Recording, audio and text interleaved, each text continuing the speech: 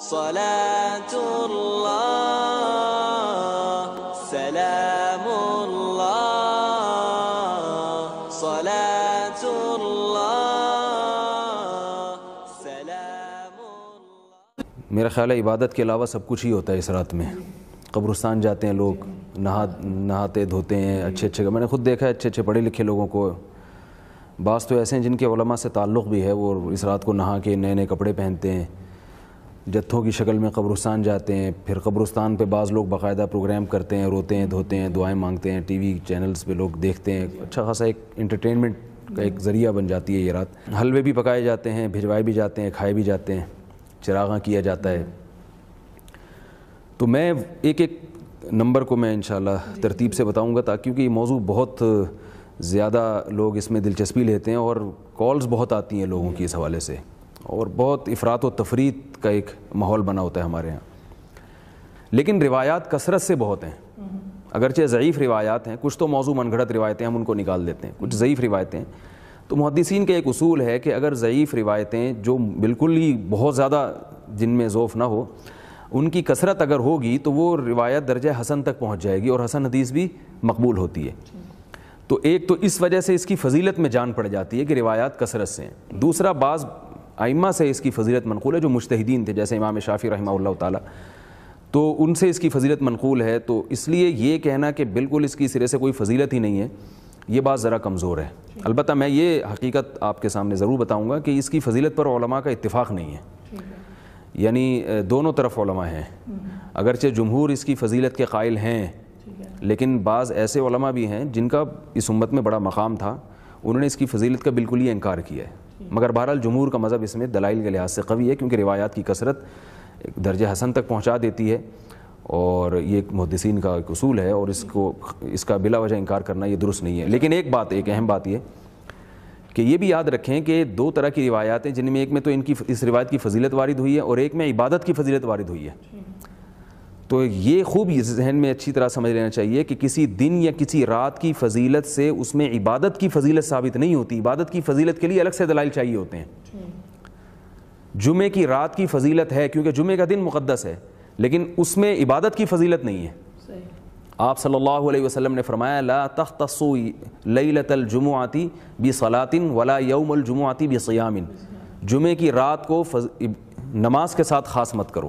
یعنی کوئی اضافی فضیلت نہیں ہے جمعے کی رات میں۔ حالانکہ جمعے کی رات فضیلت والی رات ہے، کیونکہ جمعے کا دن، رات تو دن کے تابع ہوتی ہے نا۔ جب جمعے کا دن بڑا ہے تو رات کیوں بڑی نہیں ہوگی؟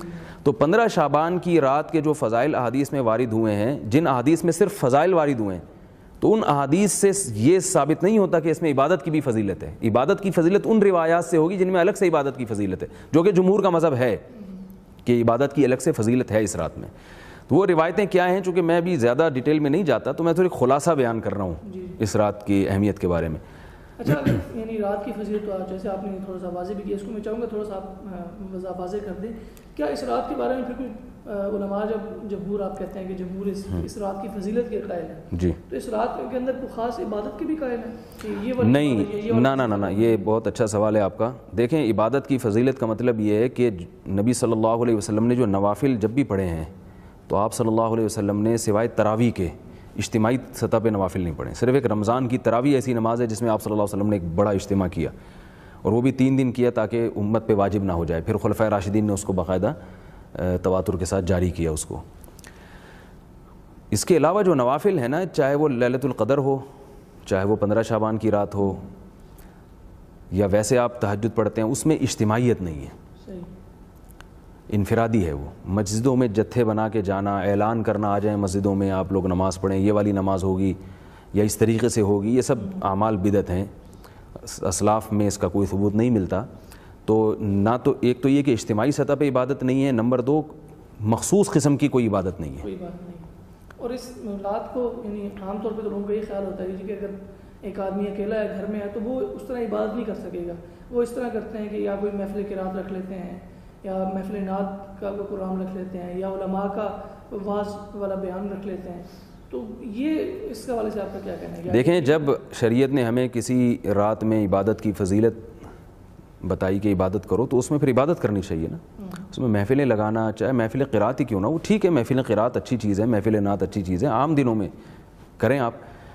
لیکن جب عبادت کا حکم ہمیں دیا جا رہا ہے تو عبادت سے نماز دعا تلاوت تو انفرادی تلاوت ہے اس میں وقت لگانا چاہیے۔ محفل قرات منانا اس رات میں یا نعتوں کا پروگرام رکھنا، تو اس سے یہ اسلاف کے طریقے کے خلاف ہے۔ عبادت کا جب ہمیں حکم دیا گیا تو اس کا مطلب ہے نماز، روزہ یا انفرادی تلاوت آپ کریں یا دعاؤں میں دل لگائیں۔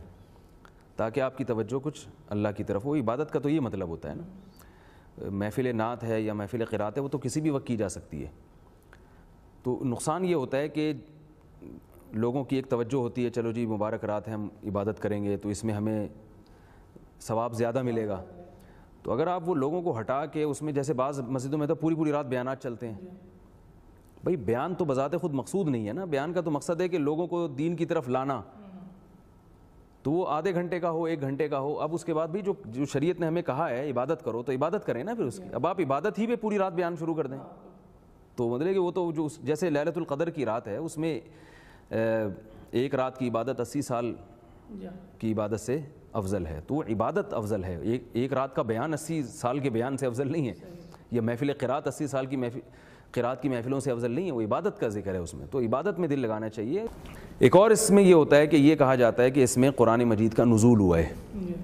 قرآن نے بالکل دو ٹوک لفظوں میں یہ بات بتا دی ہے۔ ان دو آیتیں قرآن کی آپ کے سامنے پڑھوں گا بلکہ تین آیتیں میں۔ ایک تو ایک شہر رمضان الدی انزل فی القرآن۔ فرمائے قرآن کا نزول رمضان میں ہوا ہے۔ دوسرا سورہ دخان میں ہے، انا انزلناہ فی لیلت مبارکتن ہم نے اس قرآن کو لیلت مبارکہ میں نازل کیا۔ تیسری سورہ قدر میں ہے، انا انزلناہ فی لیلت القدر ہم نے اس قرآن کو لیلت القدر میں نازل کیا۔ ان تینوں آیتوں کو ملائیں تو بالکل بے غبار طریقے سے یہ بات سامنے آتی ہے کہ قرآن کا نزول لیلت القدر میں ہوا ہے۔ اگرچہ بعض حضرات نے تطبیق کی کوشش کی ہے کہ آسمان دنیا تک لیلت القدر میں آیا اور پھر شب برات میں یا جس کو لیلت البرات کہا جاتا ہے، اس میں جناب پندرہ شعبان، یہ تکلف ہے۔ تو ہم قرآن کو اپنے ظاہر سے کیوں پھیریں جبکہ ہمارے پاس کوئی اس کے خلاف کوئی صحیح روایت بھی نہیں ہے۔ پندرہ شعبان میں جو قرآن کے نازل ہونے کے دلائل ہیں، وہ بہت کمزور ہیں۔ کوئی ایک صحیح حدیث بھی نہیں ہے جس میں آتا ہو کہ پندرہ شعبان میں قرآن کا نزول ہوا ہے۔ متعال